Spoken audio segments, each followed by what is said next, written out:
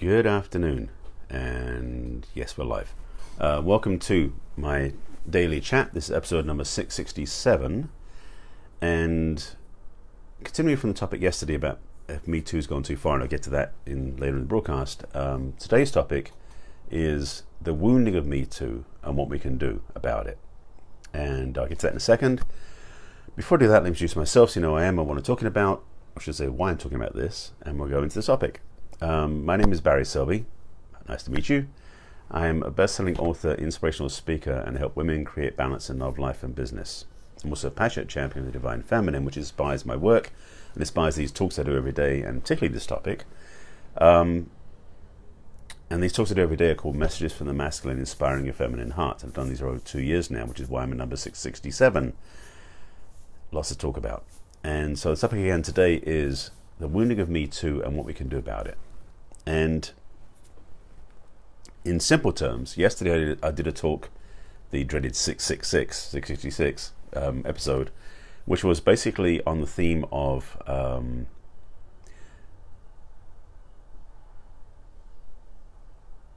oh yes, it was the theme of has Me Too gone too far? And somebody commented about the, the uh, some may take maybe upset by that, and I want to speak to that part of it because the thing is, the triggering of that wasn't intentional, but I'm also aware that there's a lot of wounding out there because of the things that have happened since Me Too. Just reading articles today about this woman has come forward in further accusation against R. Kelly about stuff on that field. So Me Too isn't over yet by any stretch of the imagination. But the thing about it, I said yesterday, which is I'm going to recap that briefly, is that Me Too went too far in the sense that it became a whitewash brush, meaning that in the where women were wounded, all men became the culprits or culpable or the um, criminals, even that were in, inciting and inspiring and inspiring this sort of behavior against women. So that's why I said it went too far because the reality is, Me Too is not a level playing field.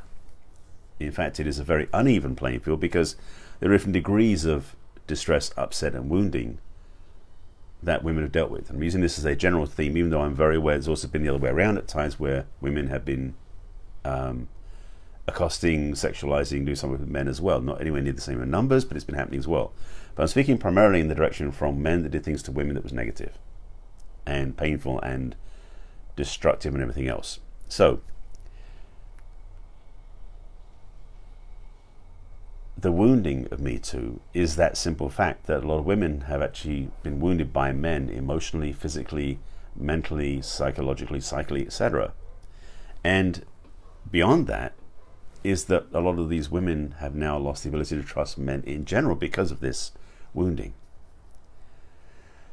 Which is what I'm going to get to about the Me Too, uh, what I'm going to get to with what we can do about it piece. Because the thing about this topic is it is a sensitive topic, yes, but it needs to be talked about. The thing about it that I said did a talk actually a while ago about if Me Too was a cover up, not cover up, a um, a shield in a way, because a lot of people are claiming Me Too without speaking about it, and for me, the only way through to the other side of this is to talk about it and work through the stuff that's in the way, which is the wounding and the hurt uh, on one side, and the um,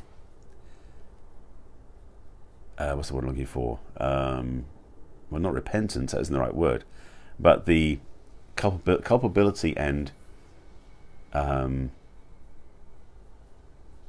repayment on the male side of the perpetrators, meaning that they need to pay the price. That's that's definitely part of the conversation. But this piece I want to talk about is for the women in particular who have been wounded, and I mean this from a point of view emotional and sometimes physical wounding that happened from men.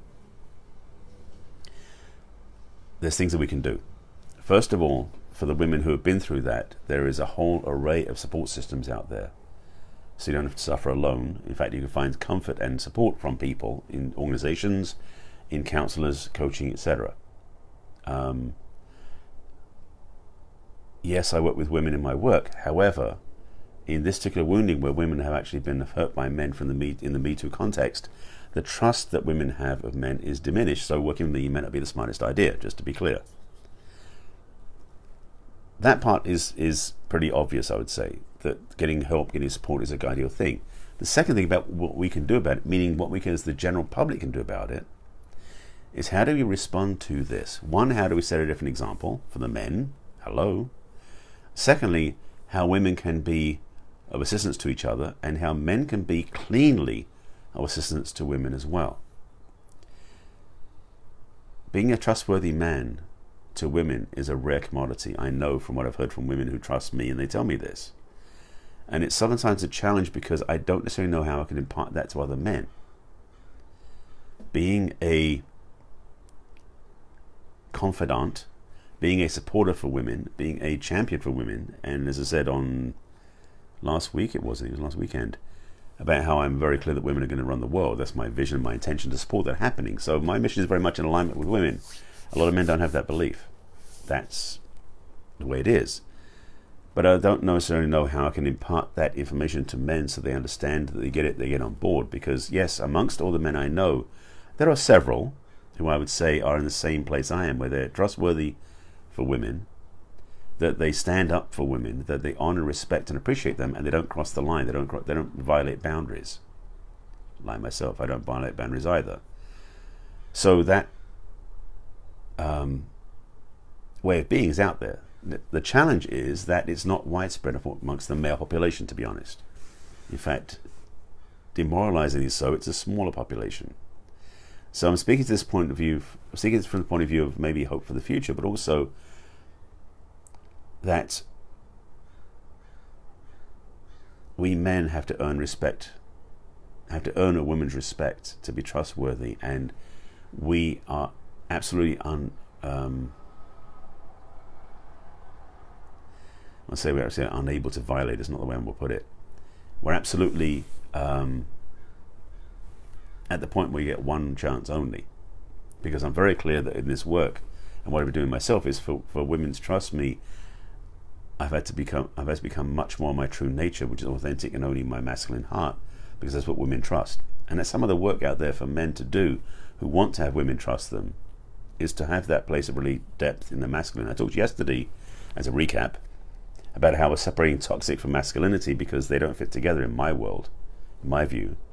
Because it really is about being toxic macho, toxic ego, not toxic masculine, because masculine is an energetic that resides within both men and women, mostly in men, to be aligned, but also a way of being for men to have a place of um, deep honor and respect for life it's the work I've been called to do for the last 12 years, and I've been very passionate about it in my work. And it's very frustrating for me, to be transparent, when I'm around men who don't get that and who tend to be denigrating to women. I remember last, I, I, I'm aware of it because I might face that tomorrow because that happens a lot in some of the groups I belong to. Even though they're conscious and awake groups, the way that men treat women, talks about women, act towards women is still way below the standard of really um, respectable. So what we can do, and what I'm doing more and more, is in conversations with around other men who who may say something at, or intone something about women that's not respectful, is I'll say something. And for you men watching this, if you're around other groups of other men who are not respecting women, maybe or maybe you don't feel comfortable. If you do feel comfortable, because maybe there's a bunch of big guys you don't feel trust, like you step in front of them and say that to them without them getting all upset, is to say, dudes, come on, let's let's change the conversation because what you're saying is perpetuating what's really the Me Too. The Me Too conversation comes out of, as a global thing, a disrespect of women by men. Simple as that. There's more to it than that, obviously, and there's much more depth to that. But I want to speak to these points about how we as men can step up. And I'm not saying I'm ahead of the pack, but I'm certainly ahead of most of people, most of the men in there, because a lot of men haven't done this work, just to be transparent. And having been very passionate about the work of respecting the feminine, respecting women, it it does trigger me when I'm around men who don't. It's that simple, black and white. So my my invitation I'm putting out, I guess. Hang on. Better than yesterday, but still there. In case you're wondering about my cough and cold that I was going through yesterday. I'm going to keep this a bit briefer because I don't want to want my throat out. An invitation, though, to other men is of course, I've got to be careful. I say that I, I get so careful. I was going to say something there. Um, I'm just looking at ways of how to help men respect women.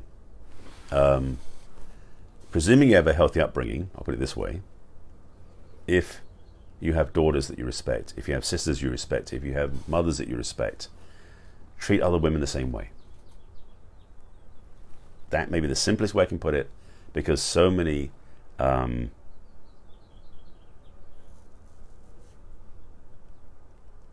issues between men and women is that men don't respect women beyond the fact that they're sex objects, to be blunt. That's the way men are treating women, which is why the Me Too stuff is happening so much. Is men don't see women as women. So one of the things I'll put out there as an invitation for men is to remember that every woman is someone's daughter, sister, or mother. So why not show respect for that? That's an invitation. For the ladies out there, if men aren't respecting you, walk away. There's no need for you to stay there, even if it's a job that you're in. If you're not being respected, report it up the up the ladder, find a new place to be, take care of yourself. And yes, if you're dealing with your own wounds, your own upsets, your own traumas, get help. Yes, I offer that to my clients, but as I said at the beginning, I said earlier, if you're facing this as a wound against all men, I'm a guy, hello, working with me may not be the best choice. But if you do want to work with me, I'll put a link in the comments for a, for a contact form. Just reach out to me if you want some support. Because maybe I can help. And I can certainly recommend some people. If you want to send a message to me, I can refer you to people, women that I know. Um, that's really what I want to talk about today. I want to keep it short again because my throat is just hanging on. I want to keep it safe. And I want to put this message out there. Um, I think there's more to talk about in the Me Too conversation because it is a big topic. Excuse me again. Okay, wrap this up. So the more tomorrow, I hope. We'll see what happens. Topics change every day. It will be later tomorrow, I think, because I've got other commitments at 5 p.m. tomorrow, so just so you know. Um, but if you haven't seen my broadcast before, I do this every day at 5 p.m. Pacific time, usually. Uh, my Facebook page, which is facebook.com forward slash Barry Selby. The replays go onto my business page, which is barryselby.author, and also onto my YouTube channel, which you can watch by subscribing to my YouTube channel, which is Barry Selby. And on there's a playlist called Messages from the Masculine. Um, these are my talks I do every day to inspire, awaken, and sometimes trigger people. if you didn't watch yesterday's broadcast, I invite you to watch that because that was a lot more blatant, deep, and actually my throat stayed together longer than today. Um, it was a provocative conversation. That was 666. Of course, with that number, it had to be. And uh, if you have any thoughts or comments about this broadcast, please put them below in the comments and I'll respond when I sign off. Again, I'll put a link in the comments for reaching out to me if you want to talk. Um, and I will put together something for, for tomorrow. I know there's some more stuff brewing. It's just not present for me in this moment right now. So rather than just waffling on and wasting your time and mine, I'm going to sign off now. And I'll be back in tomorrow to share some more insights. So with that, I thank you for watching. Um, thank you, Martin. Good to see you. I appreciate the love. And I'll see you again tomorrow. Take care.